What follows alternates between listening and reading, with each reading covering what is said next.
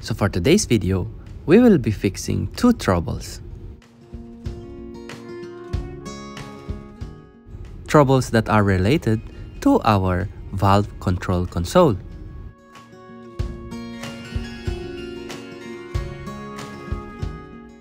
I will also give you a little bit of familiarization on this kind of system.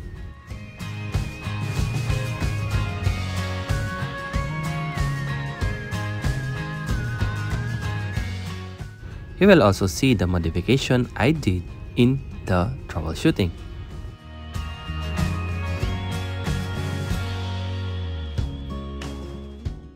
So come and join me inside this bilge well.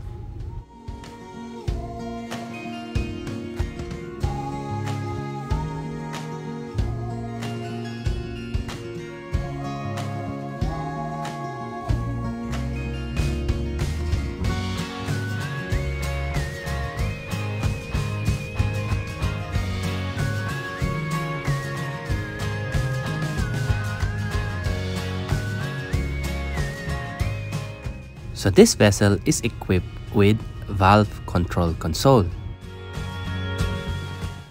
Normally, for the newly built vessel, the system is already incorporated into the control and alarm monitoring system.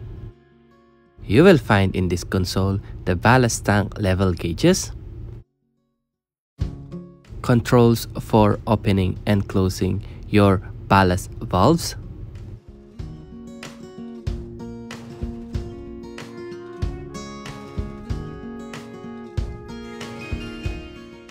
bilge level alarm indicators, pressure gauges for the suction and discharge of your ballast pump and anti-heeling pump, and power control for the whole console and for your anti-heeling system.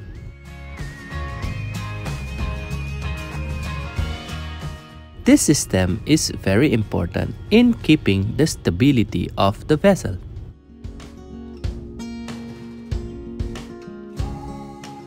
Especially when there is a heavy rain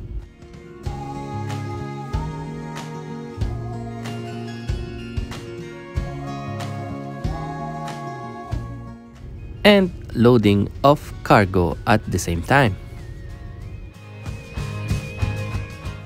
In a simple explanation, the vessel must be balanced in port side and starboard side, especially when loading cargoes. Which is sometimes during loading of containers, the weight may be shifted into the other side, which makes the vessel listed. And to correct this, the anti-heeling system will run automatically and shift the water on the other side. And sometimes during operation, the hatch cover is open, which the water will go straight to the cargo hold.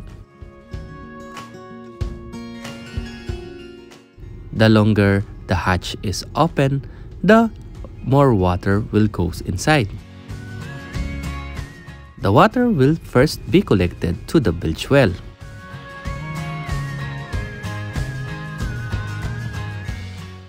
To monitor the water level inside, each bilge well are equipped with level sensors.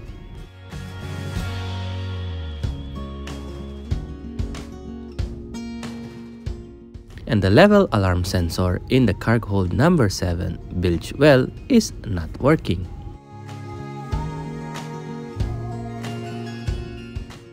That is why I was forced to go inside the bilge well to check the condition of the sensor.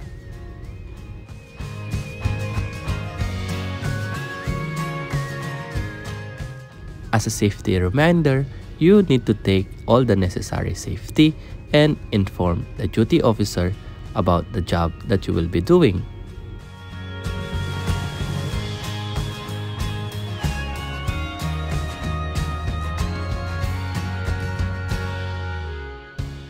So after removing the sensor, the diaphragm was already choked.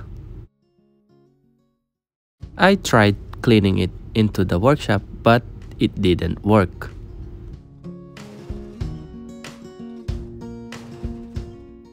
Unfortunately, we don't have the same type of level sensor. But I managed to find a normally closed float switch.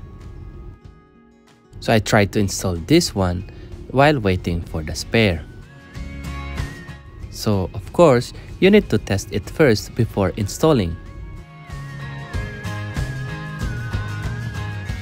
Can you check it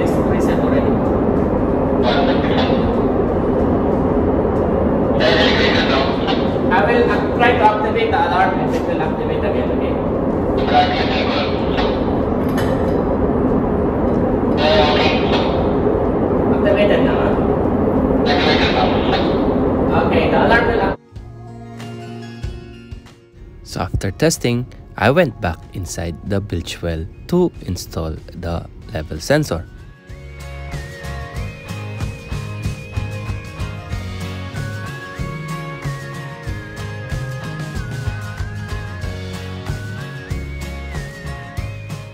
Make sure to tighten everything well so that you will not be having a back job.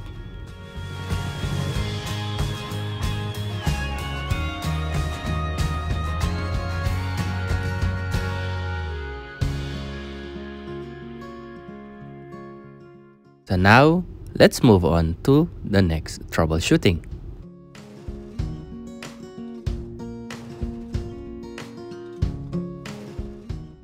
The next trouble is that we've lost the main 220 power for the valve control console. Just like what I have said from my previous troubleshooting, I always start from the source. In this case, I have a source 220 voltage in the main breaker going to the power supply 220. But the power supply unit doesn't have an output of 24 volts. So I have decided to dismantle the power supply and see what is happening inside.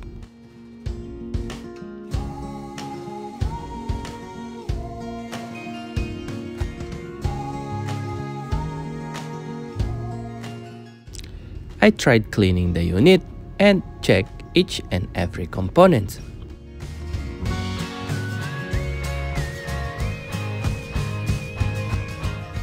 After changing one rectifier diode, then I tested the unit. The unit had a power, but the output is only 14 volts. That's the maximum that it can produce. Again, there is no available spare on board.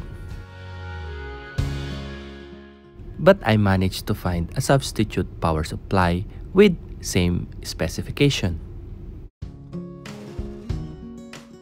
And after installing the substitute power supply, the system went back to normal.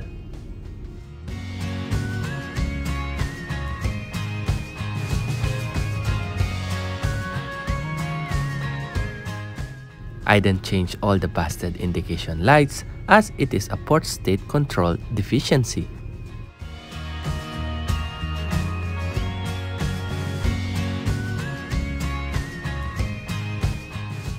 Again, this system is very important in keeping the vessel stability.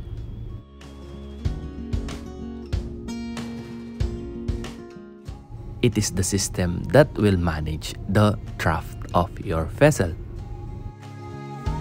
Depending on how much cargo you have, then you can plan how much water you will be taking in or you will be discharging. That's it guys. I hope you learned something from this video. And please do not forget to like, share, and subscribe to my YouTube channel. See you on my next video.